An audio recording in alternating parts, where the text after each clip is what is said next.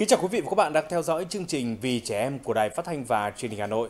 Thưa quý vị và các bạn, Sở Giáo dục và Đào tạo Hà Nội vừa thông qua phương án tuyển sinh đầu cấp năm học 2019-2020. Theo phương án này, Sở quyết định giao quyền tự chủ cho các quận huyện trong việc tuyển sinh vào lớp 6 với các trường chất lượng cao. Theo đó, các trường sẽ có bài kiểm tra riêng đánh giá năng lực học sinh khi vào trường. Rất nhiều phụ huynh đang lo lắng cho con ôn để chuẩn bị cho kỳ thi này khiến trẻ cũng cảm thấy áp lực. Theo hướng dẫn chính thức tuyển sinh đầu cấp năm học 2019-2020 của Sở Giáo dục và Đào tạo Hà Nội, đối với các trường trung học cơ sở công lập đại trà, hình thức tuyển sinh vẫn giữ nguyên như những năm trước, có nghĩa là xét tuyển theo tuyến. Riêng với các trường trung học cơ sở chất lượng cao, việc tuyển sinh học sinh lớp 6 không theo tuyến và có số lượng học sinh vượt quá chỉ tiêu thì sẽ tuyển sinh theo phương thức xét tuyển hoặc xét tuyển kết hợp với kiểm tra đánh giá năng lực. Em Minh Anh hiện là học sinh lớp 5 của trường tiểu học Kim Liên. Cuối tháng 6 đầu tháng 7 năm nay, em sẽ thi vào cấp 2 của một trường chất lượng cao tại Hà Nội. Để chuẩn bị cho kỳ thi chuyển cấp này, em đã phải nỗ lực rất lớn trong suốt những năm học vừa qua. Đặc biệt là còn phải ôn tập để vượt qua bài kiểm tra đánh giá sắp tới của trường. Điều này khiến gia đình và bản thân em khá lo lắng. Con thật sự là nếu mà nói đúng thì con cũng cảm thấy khá là áp lực và thăng thẳng nhưng mà cũng giảm được bớt được phần nào, tại vì ở trên lớp thì cô giáo dạy rất rất là nhiệt tình ngoài ra về nhà thì con còn lên cả cộng đồng giáo dục toliha.vn ở đây thì con có thể ôn tập và học bài mới, kiểm tra bài cũ và con cũng yên tâm hơn phần nào khi mà kiểm tra những đợt kỳ thi sắp tới ạ. Học trường chất lượng cao chắc chắn là mong muốn tâm lý chung của nhiều phụ huynh và học sinh, nhưng với các bậc cha mẹ cũng nên lưu ý sức học của con. Nếu đánh giá con có khả năng học tập ở môi trường này, bố mẹ cũng nên chuẩn bị cho con các kiến thức, kỹ năng trước khi con thi. Việc tạo áp lực ở mức độ nào đó cho đứa trẻ có cả mặt tích cực và tiêu cực. Mỗi đứa trẻ có một khả năng học tập khác nhau và đứa trẻ có thành công trong tương lai hay không còn phụ thuộc vào nhiều yếu tố. Trong chương trình Vì trẻ em tuần này, mời quý vị cùng gặp gỡ khách mời đến từ cộng đồng giáo dục toliha.vn, một địa chỉ tập hợp nhiều thầy cô giáo tâm huyết, kinh nghiệm đến từ các trường học của thủ đô, cùng kết nối đam mê dạy học cho học sinh ở đủ các cấp học. Suốt thời gian qua, đặc biệt là khi giãn cách xã hội vì Covid-19, các thầy cô vẫn miệt mài lên tiết dạy miễn phí cho tất cả học sinh các bậc học của 63 tỉnh thành trên cả nước.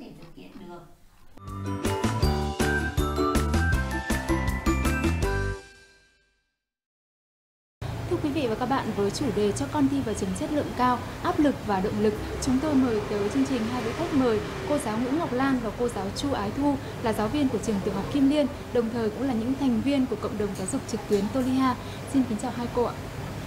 Thưa chị Nguyễn Ngọc Lan, à, là một người mẹ cũng đồng thời là một giáo viên rất là lâu năm của trường tiểu học Kim Liên. À, vậy thì theo chị, để cho các con thi vào trường chất lượng cao thì bố mẹ nên căn cứ vào những điều gì ạ? Theo tôi thì ờ, mỗi người mẹ khi mà cân nhắc cho các con, lựa chọn thi vào các trường chất lượng cao thì điều đầu tiên là phải xem lực học của con. Cái lực học của con rất là quan trọng khi mà tham gia các trường chất lượng cao này, bởi vì lực học sẽ đánh giá kết quả của các con mà các con mới có khả năng tham gia thi các trường như vậy. Ngoài ra, ngoài cái việc lực học của các con để định hướng thì cũng cần phải xem cái môi trường mình học có đảm bảo với quãng đường xa từ nhà mình tới trường hay không. Nếu như cả một thời gian 4 năm dài, các con ở một nơi rất là xa như vậy thì đi lại sẽ gặp nhiều khó khăn. Với những trường chất lượng cao, còn có yêu cầu về những khoản kinh phí, vì vậy cũng phải tùy từng gia đình để lựa chọn các con sao cho hợp lý. Chính vì những loại lý do đấy mà với chương trình này cũng mong muốn phụ huynh quan tâm và phải tự cân nhắc với điều kiện của từng gia đình, lực học của các con để lựa chọn cho hợp lý. À, câu hỏi tiếp theo xin được à, dành cho cô giáo Chu Ái Thu. À, thời điểm này thì có rất nhiều gia đình có thể nói là đang chạy đua cho con ôn thi vào các trường chất lượng cao. Chị nghĩ sao về điều này ạ? trước hết là tôi thấy ờ, rất là là thú vị với cái câu hỏi của bạn với một cái vai trò của người là giáo viên thì tôi thấy đây là một việc rất cần. Việc mà cha mẹ đang đồng hành cùng con để cho con có một cái tâm lý và một cái tâm thế sẵn sàng trong việc thi cử thì hãy cho các con làm thử thử có rất nhiều hình thức. Thứ nhất là con có thể thử bằng chính cái đánh giá năng lực của trường, ở trường thông qua các bài thi. Bố mẹ cũng có thể tham khảo ý kiến của thầy cô xem là sức học của con có vừa để có thể lựa chọn đến một cái môi trường mà tạm gọi là cao hơn một chút so với bậc tiểu học. Thứ nữa con có có thể tự kiểm tra cái khả năng của mình thông qua một số cái trang trực tuyến mà mình thấy cực kỳ hữu ích trong thời gian vừa rồi. Đó là những bài mà con có thể luyện tập từ bài sau bài học này, bài luyện tập cuối tuần này, những cái bài thi kiểm tra chất lượng hay đánh giá định kỳ từng phần một và có những kỳ thi thử mà trang trực tuyến toliha.vn là một trong những trang trực tuyến có hệ thống và cung cấp và đã tung gói sản phẩm này trên toàn quốc và đạt được hiệu quả rất là lớn. Thông qua đó thì các em cũng có thể là lựa chọn, đánh giá, tự học sinh đánh giá chính bản thân mình, xem con đã đi được cái mức nào để có thể sẵn sàng thi thứ hai, phụ huynh cũng có thể nhìn nhận điểm số mà con đang tăng lên trong từng kỳ mà con kiểm tra đó để có được sự quyết định đúng đắn. Và thứ ba là hãy cho các con một lần, ít nhất là một lần, các con được đến với phòng thi, được mở một cái tờ giấy thi để làm thử, được trong một cái không gian, một cái khoảng thời gian và bạn bè xung quanh để con làm quen với việc thi. Thì dù sao, cái việc chuẩn bị như thế cũng là rất cần thiết và rất tốt cho các con. Theo kinh nghiệm cá nhân, tôi đã từng cho con đi thi và rất nhiều học sinh đi thi vâng còn câu hỏi về áp lực cho các con thì xin được dành cho cô giáo Nguyễn Ngọc Lan. À, theo chị bố mẹ có nên tạo áp lực cho các con trước kỳ thi để coi đó là động lực không ạ? Nếu như các con mà được vào môi trường chất lượng cao ngay từ những năm cấp 2 như thật vậy thì các con đã có một cái định hướng dài dài và các con phát triển rất là tốt. Nhưng bên cạnh đó thì cũng có rất nhiều quý vị phụ huynh lại tạo cái áp lực mà những cái áp lực đấy đối với những bạn mà chưa tới tầm đủ các bạn trở thành một cái cái vất vả và chán nản chính thế đại phản tác dụng. Vì vậy, cái định hướng này thì phụ huynh cũng như cô chú giáo tôi đã chia sẻ. Đó là phải tìm hiểu con, tìm xem con của mình đã tham gia quá trình học tập từ cô giáo nhận xét, từ các con học tập trên các trang trực tuyến. Mình có thể kiểm tra ngay các con ví dụ như các con vào trang tolia.vn lúc này các con sẽ có được cả gói cơ bản. Với những con mà có học lực bình thường, bố mẹ sẽ kiểm tra được gói cơ bản của các con. Các con đã có, từ gói cơ bản, các con mới có kiến thức dẫn đến gói nâng cao. Và với những gói này thì đều có những cái bài mà các con được luyện tập thường xuyên, bố mẹ có thể kiểm tra ngay lập tức để xem là định hướng của các con như thế nào, các con phát triển ở mức độ nào để có cái tạo được tạo cái áp lực thành cái động lực để các con học tập các con phát triển. Thì ngoài cái việc đi tìm kiếm các trung tâm thì trang trực tuyến như trang trực tuyến Tôn Nga cũng là một nơi để các con vừa học tập vừa um, tiết kiệm được chi phí không phải đi lại trong cái thời điểm nắng nôi như thế này. Và vừa qua thì trong cái thời kỳ covid thì trang Tulia trực tuyến cũng đã miễn phí cho toàn học sinh của toàn quốc và cũng là nơi điều kiện thuận lợi cho các con làm những cái bài luyện tập, những kỳ thi thử chọn. Tôi được biết là ở trong trang này, các con còn có những cái kỳ thi thử chọn và khen thưởng ngay, tuyên dương, trao quà ngay cho những con mà có cái khả năng phát triển hơn các bạn. Thì đấy cũng là động lực của bố mẹ có thể kiểm tra.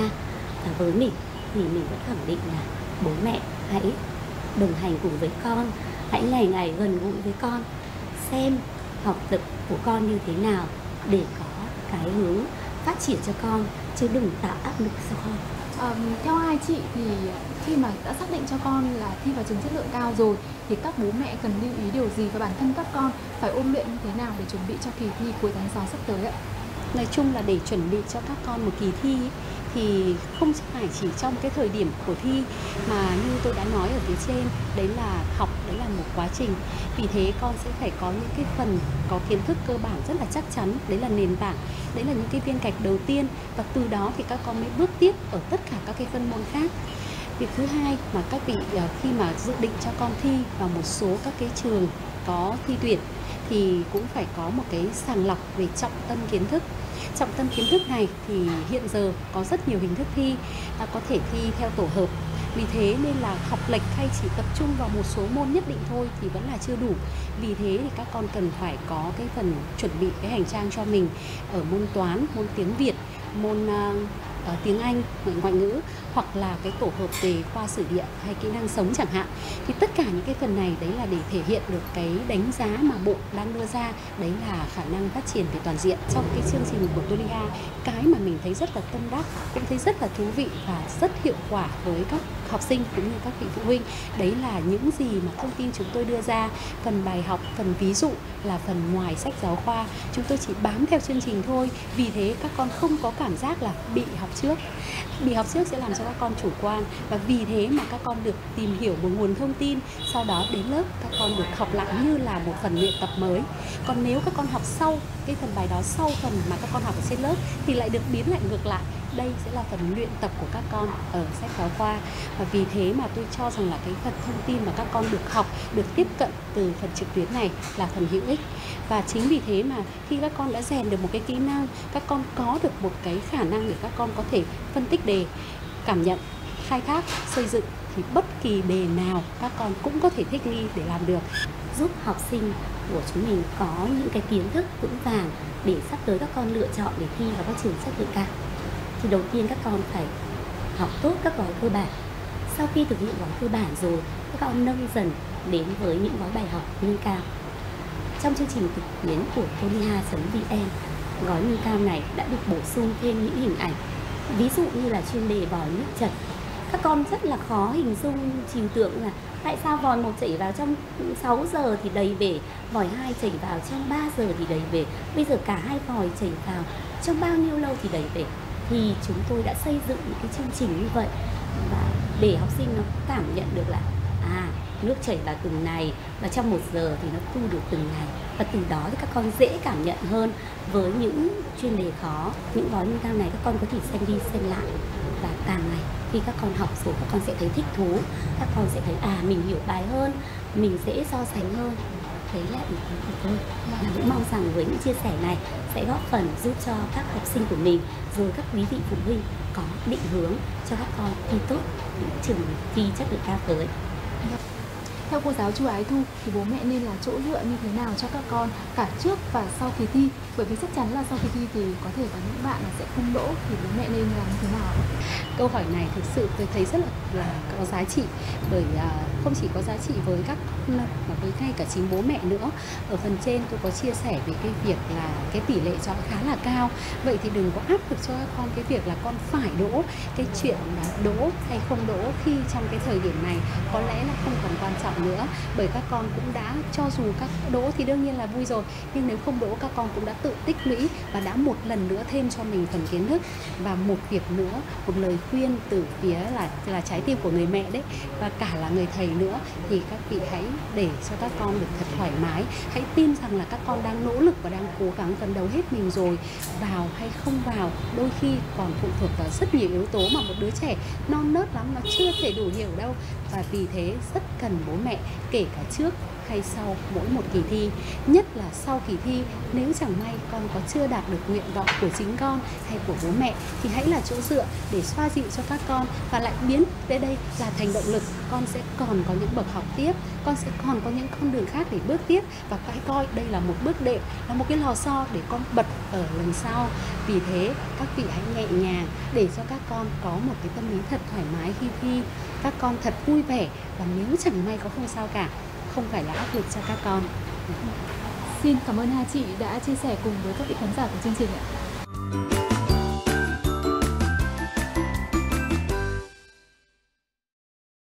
Dù học hành có căng thẳng và vất vả thì các bậc phụ huynh cũng đừng quên cho con thư giãn và nghỉ ngơi. Chính khoảng thời gian bố mẹ cùng con bên con tham gia một vài hoạt động nhỏ giúp trẻ cảm thấy vui vẻ, thoải mái, trở thành động lực cho con trẻ khi cảm thấy luôn có bố mẹ ở bên. Chương trình Vì trẻ em của Đài Phát thanh và Truyền hình Hà Nội hôm nay xin được khép lại tại đây. Chương trình được phát sóng